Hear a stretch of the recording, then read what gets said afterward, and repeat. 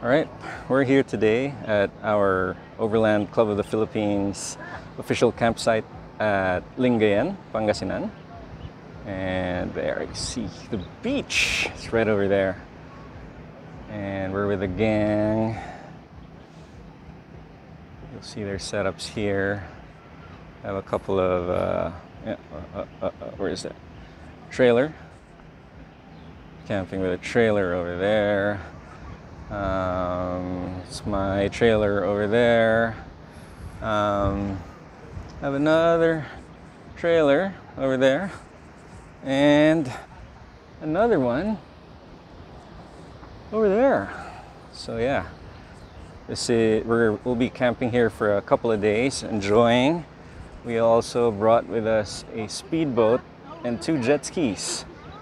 So yeah, this is gonna be um, really fun. We have some trail bikes. I don't know if you can see it uh, over there. Some trail bikes too. So, uh, but the reason for this, I just want to give you a short hack on camping on the beach because as you know, if you have an awning and you're camping on the beach, an awning is a very crucial bit of gear because, you know, as you can see, there are no trees. And the only way to get good shade when you're out on the beach is by using a, a side awning that's attached to your vehicle. Uh, however, the main drawback of camping on the beach is this sand. So, camping on sand, there's no way for you to peg down your awning.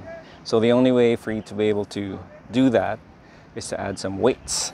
And here's a little hack that you can do. It's either you get a sand peg that you can, you know, you stake it down onto the sand. Uh, but the quickest hack is one of these. Ah, there you go. You see one of those. Uh, these. This is one of those bags that you get from from Decathlon. Uh, they're. I think they're 50 bucks each. So what you can do, what I did, is I filled it with sand, which is abundant when you're on the beach, and then you have a carabiner and then you attach your guy lines to it. Uh, additional quick hack is using carabiners on your guy lines so that they're quick disconnect, quick attach, quick disconnect, quick attach, quick disconnect. All right, so hope you found this to be helpful. And that's a quick hack camping with a side awning without using pegs. You use a sandbag. So there. Hope you find this to be helpful. Awesome. Take care, guys.